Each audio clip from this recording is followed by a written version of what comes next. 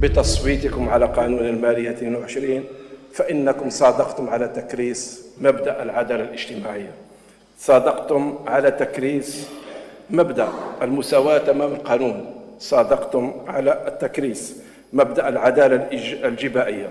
وقد كرستم مبدأ ديمومة واستمرارية ميزانية الدولة.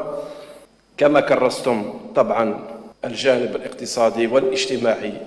للدولة بمصادقتكم على مختلف ما جاء في هذا القانون وكرستم السياسة الاجتماعية المثلى للدولة من خلال الاستعمال الأمثل للموارد وترشيد موارد الميزانية وكذلك توجيه الدعم للفئات التي تحتاج إليه وهذا بالقضاء على التبذير الذي كان سائدا سابقا.